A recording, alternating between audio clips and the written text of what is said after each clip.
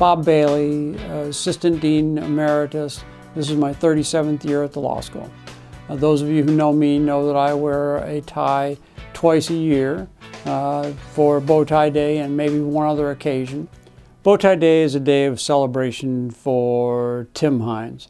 Tim Heinsz was my best friend. Tim Heinsz joined the faculty here in 1981. Tim became dean uh, in, in 1987 and was dean for 13 years. Tim was uh, one of the kindest, gentlest, uh, best communicators, best listeners that I've ever encountered. A deeply, deeply wonderful human being. He died uh, 12 years ago while he was out running on the MKT trail, had a massive heart attack, and died instantly. We celebrate uh, in two different ways Tim's life. One is bow tie day. Uh, Tim always wore a bow tie.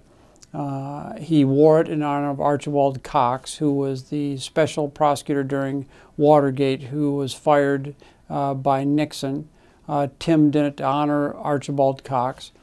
The second way we, we commemorate uh, and celebrate Tim's life is through the uh, Timothy J. Heinsz 5K race that we hold in the spring.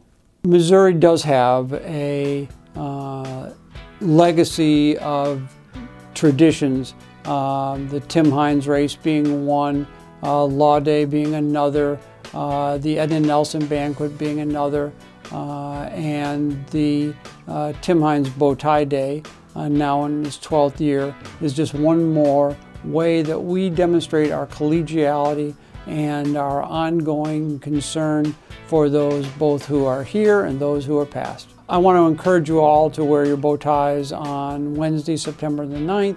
Uh, I want to thank you in advance for honoring Dean Heinsz in that way, and I look forward to seeing you all on the 9th.